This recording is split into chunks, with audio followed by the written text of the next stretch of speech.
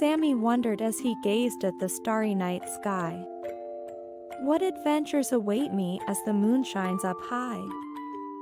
In the heart of the forest, where creatures dwell, lived a baby fox, whose story I will tell. One evening, as the sun bid its farewell, Sammy heard a tiny whimper, like a soft little bell. Curiosity took hold of our furry friend, as he scurried through the woods, following the sound till the end. Amongst the trees and bushes, Sammy's eyes caught a sight, a lost baby fox, trembling, filled with fright. The little fox looked up, with eyes full of tears, and Sammy's kind heart knew he had to ease the little one's fears. With a gentle smile, Sammy spoke soft and kind, Don't worry, little fox, together we'll find. Your family, your home, where you belong, we'll make sure you're safe, where you truly belong. They journeyed through the forest, side by side, Sammy guided the baby fox, with love as their guide.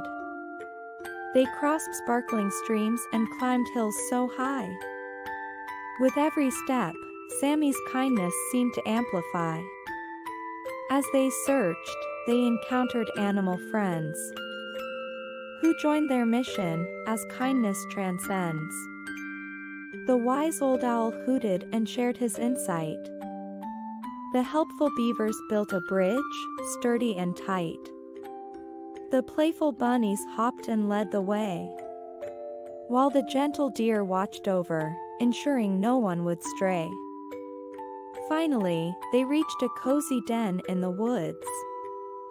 The baby fox's family emerged, and their reunion felt so good.